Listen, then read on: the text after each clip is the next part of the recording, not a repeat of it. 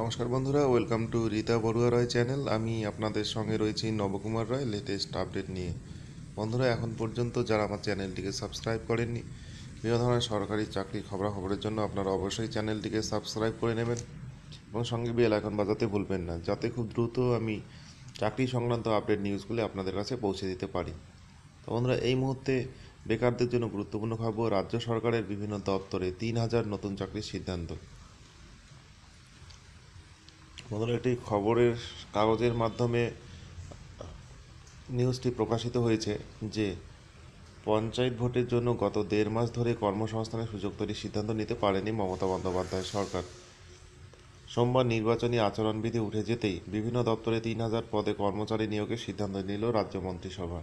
শিক্ষা, স্বাস্থ্য, স্বরাষ্ট্র, প্রাণী সম্পদ বিকাশ সহ বেশ কয়েকটি দপ্তরে ওই নিয়োগের সিদ্ধান্ত গৃহীত হয়েছে। কয়েকটি স্কুল ও কলেজে শিক্ষক ও শিক্ষাকর্মী নিয়োগ করা হবে। প্রাণী সম্পদ বিকাশ দপ্তরের বেলগাছিয়া প্রাণী বিশ্ববিদ্যালয়ে নিয়োগের সিদ্ধান্ত হয়েছে এদিন। খুব শীঘ্রই এই নিয়োগের নির্দেশিকা প্রকাশিত হবে। তো বন্ধুরা, এই মুহূর্তে গুরুত্বপূর্ণ খবর এটাই যে, প্রায় তিন হাজার নতুন চাকরির সিদ্ধান্ত নিয়েছে সরকার। খুব তাড়াতাড়ি এটা নিয়োগ প্রক্রিয়া সম্পন্ন হবে। যেহেতু এর মধ্যেই পঞ্চায়েত ভোট ছিল এই জন্য এইটি কার্যকর করা সম্ভবপর হয়নি।